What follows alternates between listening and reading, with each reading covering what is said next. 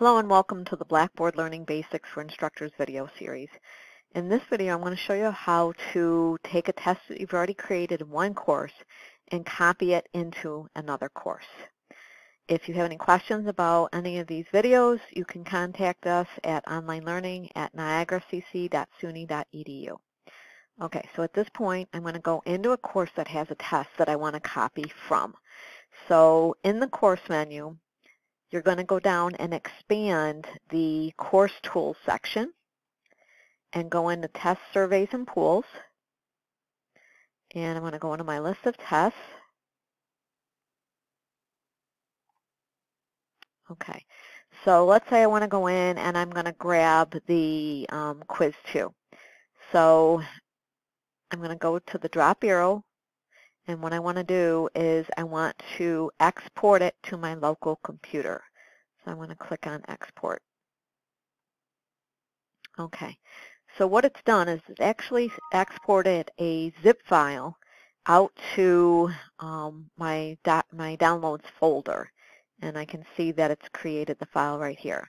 So what I'm going to do is I'm going to go back into another course where I want to place this test. So um, I'm going to go into my course. And now I'm going to go back into and expand course tools, go into test surveys and pools, and go into tests. And what I want to do is I want to import the tests that I just exported from the other course. So I'm going to go in the import test. I'm going to browse my computer. And because I'm using Chrome, it automatically saved it to my downloads folder. So I just have to find my downloads folders over in my navigation on the side there. And there is the, um, oh, let me, and here is the file that I just exported out of the other course. So I'm going to select that and then go ahead and hit open on the right. So right now it's telling it to import that zip file and I'm going to submit it.